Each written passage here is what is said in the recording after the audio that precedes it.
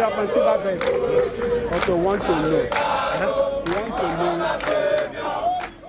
You want to know. You're looking at these pictures from earlier today. Jubilation by 35 pro-Biafra agitators who have just regained their freedom in the premises of the Rivers State Judiciary Complex in Port Harcourt after Chief Magistrate Court discharged them.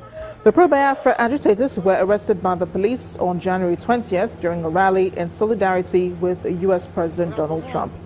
They were charged by the police on two counts bordering on conspiracy to commit treason and treasonable felony. The Chief Magistrate Andrew Jaja freed the suspects uh, for what he described as a lack of diligent prosecution by the police. The Chief Magistrate held that neither the Attorney General nor the Commissioner of Police showed up in court within the 20-day period as stipulated by law to file the necessary court processes to show proof why the agitators should continue to be held in prison custody. Yeah, there is no reasonable cause shown that there is any offence met- meted against people, you should discharge them unconditionally. That is the law. Now, that, that is the law. I was saying something to you. Listen, it takes a brave court. There, there must be there may be a law, there may be a right, but for that law to take effect, you have to give voice to the court. The court is courageous.